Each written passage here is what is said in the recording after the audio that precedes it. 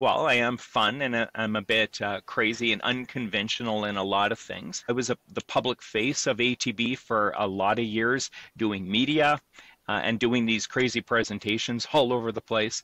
So I guess I fit that role for ATB at the time because they were looking for a fresher, um, more approachable, uh, um, I guess, persona for a traditional bank.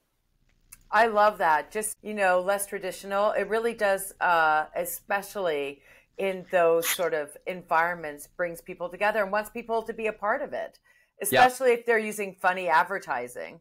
Yeah, you know, they had, yeah. they had a lot of really good comedy in their their advertising. You know, and I guess I was part of that um, that sort of campaign to make economics more approachable and more understandable for people.